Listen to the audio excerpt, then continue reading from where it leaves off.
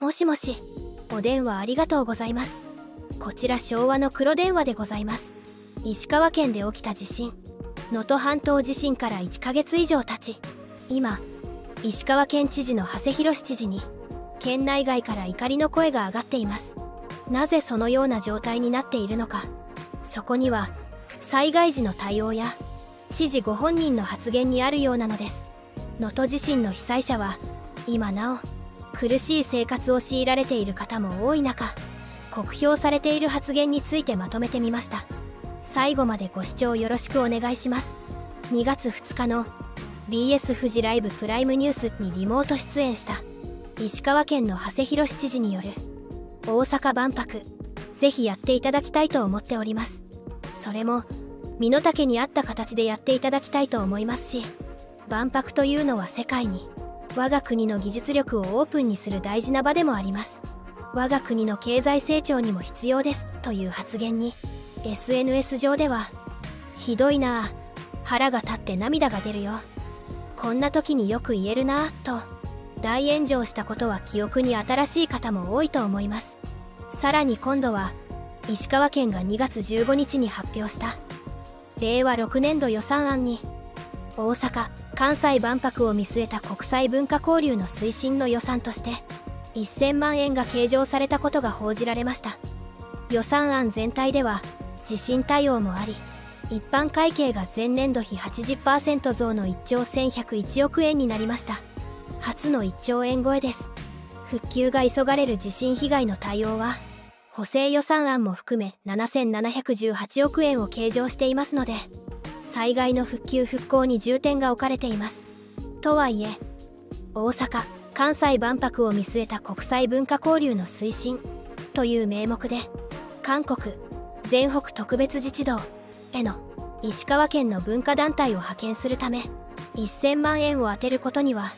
県民の間でも違和感があるようです。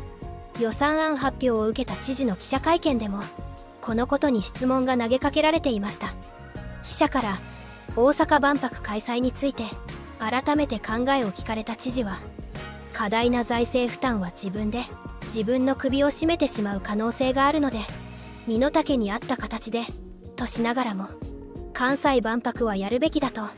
終始一貫して思っていると明言しました。さらに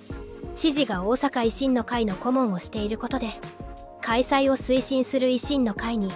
かなり気を使っているのではと質問されると私は大阪維新の顧問馬場代表松井さん吉村大阪府知事また橋本さんとも古い友人ですと答えました。その流れで顧問という立場なので維新の会の政策的な意思決定には参加していないとも言明しましたが県民としてはどうして県の予算が大阪の万博に使われるの？と疑問に思うはずです。実際 SNS 上では石川県の予算ですが万博に1000万計上被災地に使わないのか県民より万博なんですね。県の金を使うなそれは県民のものだ。その1000万を寒いこの時期に被災者へ温かい食べ物飲み物の提供とかストーブ等への燃料費とかに使われるなら納得されるとは思うけど大阪万博へはないよねなど批判的な意見が圧倒的だったのでした。共同通信が3日4日に実施した世論調査によると元日に発生した能登半島地震の復興を優先して2025年の大阪・関西万博を延期すべきが27%で時期は変えず規模縮小は26.7%中止すべきは17.6%一方計画通り実施は27.1%だった。7割以上の国民が万博よりも復興が優先と考えているということが判明しています。しかしここでも長谷博知事が万博推しを鮮明にしていることに疑問を覚えてしまいます。それは2日の BS 富士の番組で大阪万博ぜひやっていただきたい。我が国の経済成長にも必要と断言。その背景には大阪万博の言い出しっぺである日本維新の会に配慮している可能性があるようなのです。あまり知られていませんが長谷さんは22年9月に維新の顧問に就任。同年3月の知事選で維新の推薦を得たことへの返礼と見られています。知事選は長谷さんを含む自民党出身者3人による保守分裂選挙でした。長谷さんは当選を危ぶまれていたが維新の推薦もあってなんとか勝利。大恩のある維新肝入りの大阪万博を批判できないのでしょう。そもそも長谷博知事は震災の後手後手対応を批判されています。特に手厳しいのは長谷博知事の親分である森喜朗元首相と懇意な地元紙北国新聞だと言われています。連日1.1大震災。日本海側からの SOS と題し検証記事を掲載。長谷博知事の対応を辛辣に評価しているのです。元日の午後4時10分あの揺れを長谷博知事は少しも体験していない。休暇で東京の自宅にいたからだ。震災対応の初動にあたりなぜ得意の肌感覚を発揮しなかったのか。知事は震災2週間の14日首相の視察に同行して初めて被災地入りし各方面から遅いとの声が上がった。地元紙が知事の震災対応を叩くのは何ら不思議なことではないと思います。しかし森喜朗氏のみならず長谷博知事とも近い北国新聞の厳しい指摘の背景にはある事件が影響している可能性があると言われているのです。長谷知事は昨年東京五輪招致をめぐって安倍元首相から招致を必ず勝ち取れ官房機密費もあると言われたことを暴露。これに森喜朗元首相が北国新聞で極めて軽率調子に乗りすぎなどと釘を刺しました。この一件に北国新聞も呆れ返り現在の批判につながっているのかもしれません。またさらに問題視されているのが石川県の丸投げとも取れてしまう対応にあるようです。石川県が国に提出した能登半島地震の被災地支援に関する要望書を見ると熊本地震の際に熊本県が提出した要望書に比べ石川県には能動的な姿勢が見えないというもの。1月25日の北国新聞は震災対応の初動にあたり長谷博知事はなぜ得意の肌感覚を発揮しなかったのかと戦術した通り知事は震災前から肌感覚という言葉を大事にし最前線の情報を肌感覚でつかむためには週1回くらい上京した方がいいと北国新聞に語っていたからでした。なのになぜ災害に直面しながら2週間県庁にこもっていたのかと大規模災害時の生死を分けるタイムリミットは72時間とされています。1月24日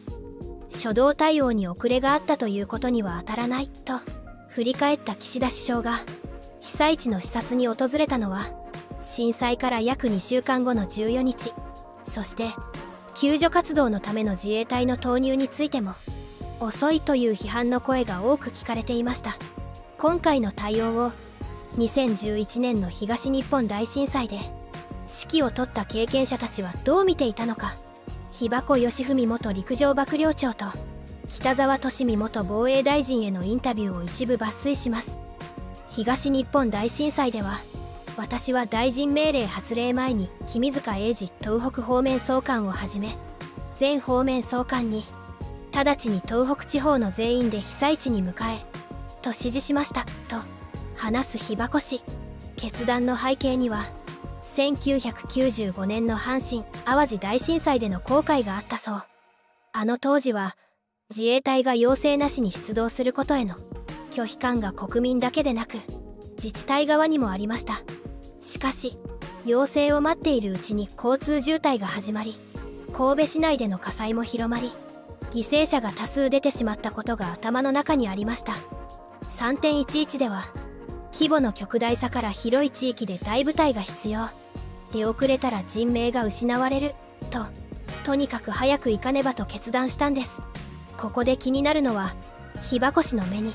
今回の能登半島地震への政府自民党の対応はどう映ったのでしょうか。初動が遅いと批判を受けていましたが私は決してそんなことはなかったと思います。2016年の熊本地震では4日目までに約2万人の自衛隊員が動員されましたが西部方面隊には第4師団第8師団があり道路も迂回できたために熊本地方に集中することが可能だったんです。能登半島の地形は得意な上に地震による道路寸断が多数箇所で起きており部隊の車両侵入ができなかったものと思います。結果的に時間を要した地域もあったと思いますがその中で2日には中部方面総監を長とする陸海空で1万人体制の再統合任務部隊を編成しているのですから自衛隊として全く遅い動きではなかったでしょう。一方で一般の国民と同じように私もなかなか自衛隊の動きが聞こえてこないとは感じましたとも言う。逐次投入をするのかと批判されましたが実際は1万人体制を整えていたわけですからまずその点を強調した上で今日現在の救助活動体制人数の広報や現地のニーズに応じて対応する旨を丁寧に国民に説明していれば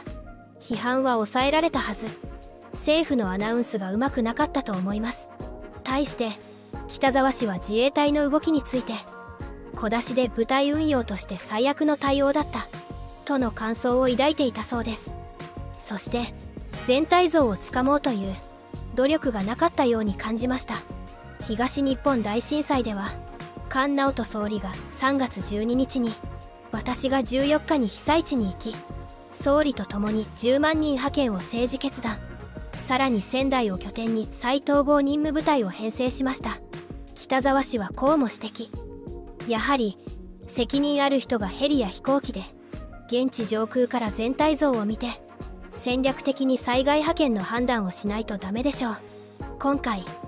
石川県の長谷博知事の現地入りが総理と同じタイミングになったことは理解不能ですよ。先に知事が被災地を見た上で総理にこの支援をお願いしたい